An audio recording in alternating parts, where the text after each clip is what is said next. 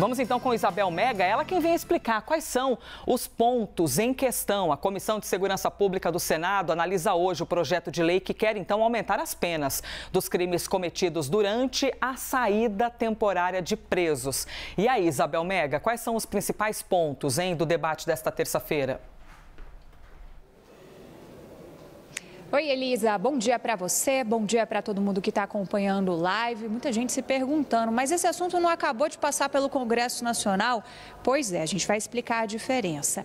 Esse projeto de lei que pode ser votado hoje na sessão da Comissão de Segurança Pública do Senado, que se inicia logo mais às 11 horas da manhã, ele na verdade traz agravantes de pena para casos de presos que durante as saídas temporárias possam cometer outros crimes. Quais seriam esses critérios? Para esses agravantes. Esses crimes serem cometidos com grave ameaça ou com violência. E qual seria o agravante? Aumentar a pena em até metade ou um terço. Um preso, por exemplo, que está cumprindo pena de seis anos, seja lá por qual crime for. Se ele cometer um crime durante a saída temporária, essa pena, portanto, poderia ser aumentada em dois ou até três anos, caso atenda, portanto, a esses critérios de grave ameaça ou violência. É isso que diz a proposta, que é de autoria da senadora Damares Alves, ex-ministra do governo Bolsonaro, ela que é do Republicanos aqui do Distrito, do Distrito Federal.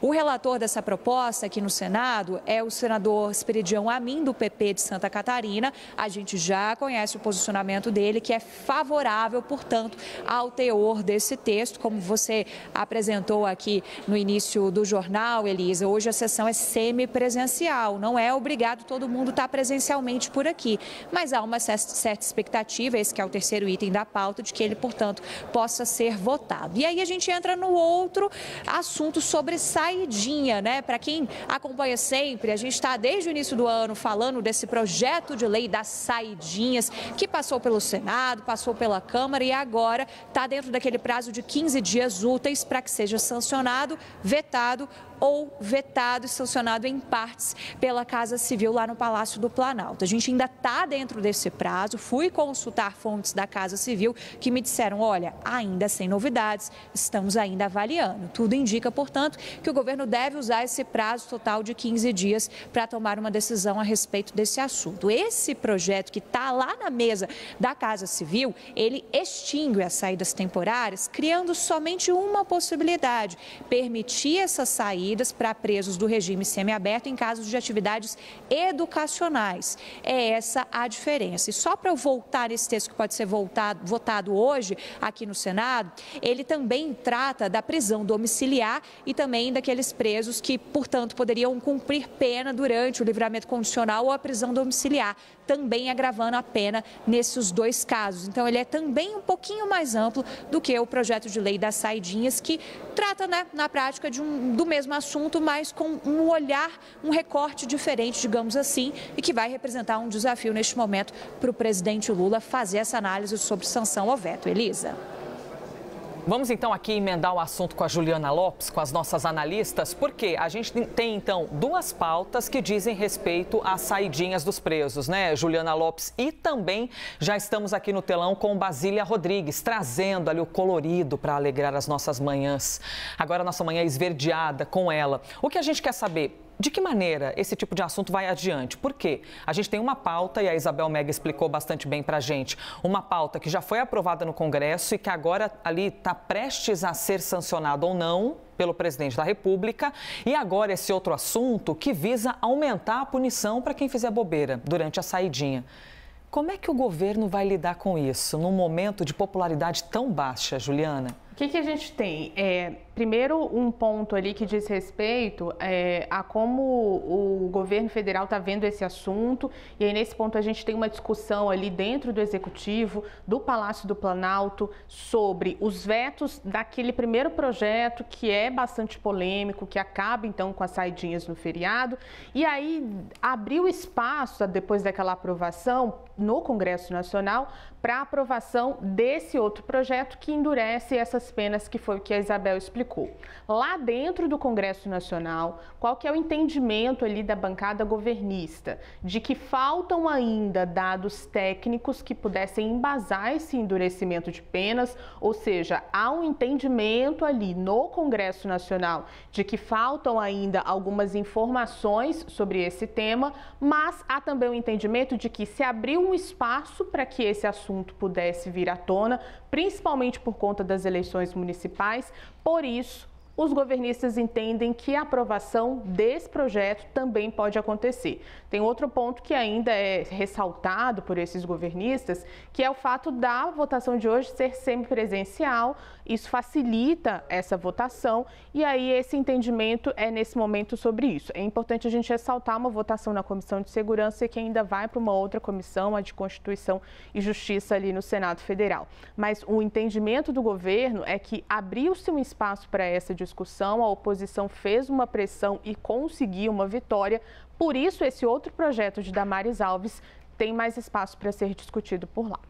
Basília Rodrigues também aqui com a gente, porque ela conversou com o relator desse assunto e traz informações importantes, porque essas penas maiores valeriam também para outras é, situações além da saidinha, Basília Rodrigues. A gente quer te ouvir, principalmente, qual que é a sensação agora, né? De que maneira eles estão confiantes ou não para começar esse debate com os outros congressistas? Olha, Elisa, esse projeto está mais apagado do que aquela primeira discussão PL da saidinha mesmo, que estabeleceu uma série de restrições, acabando com diversas destas oportunidades que o preso consegue ir para fora da prisão, né?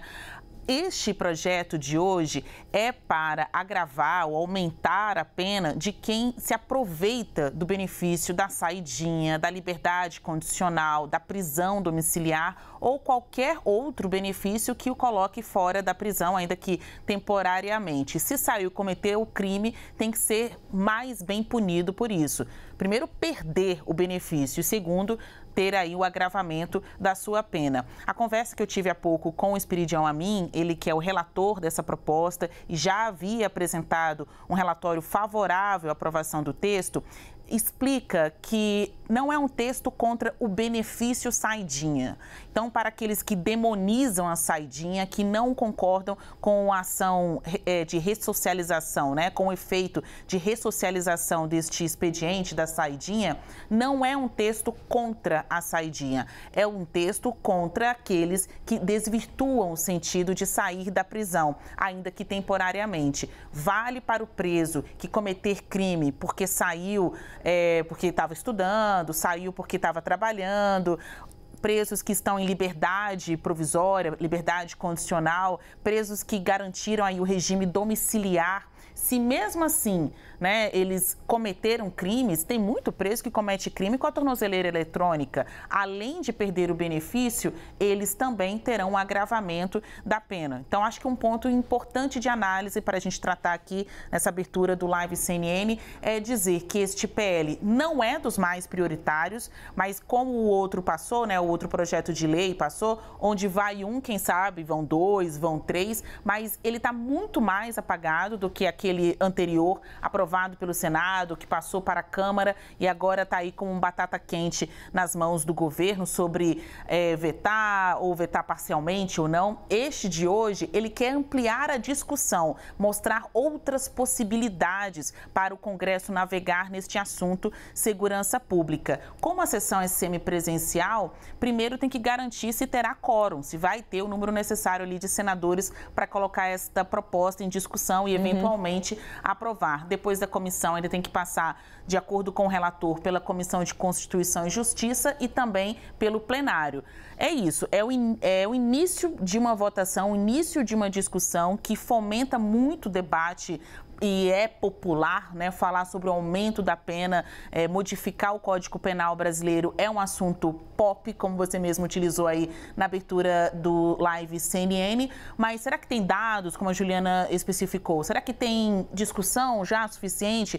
Esgotaram as possibilidades uhum. antes de aumentar a pena? Isso ainda está aí é, em aberto. Então, é uma discussão que serve muito para recortes de redes sociais, mas a gente não tem aí uma garantia de aprovação na comissão, nem se vai ser aprovado também no Senado Federal como um todo. Há defensores. A autora, a ex-ministra, é, que também é, hoje está como senadora da República, agora eu que perdi aqui, a Damares Alves, a autora do projeto, e o relator, o Espiridião Amin. O que ele disse? Esse texto é para é, criminalizar atitudes muito individuais do preso que se aproveita do benefício para cometer novos crimes. Neste caso, ele merece ter a sua pena agravada. A opinião é, é importante, vamos ver o que a comissão dirá.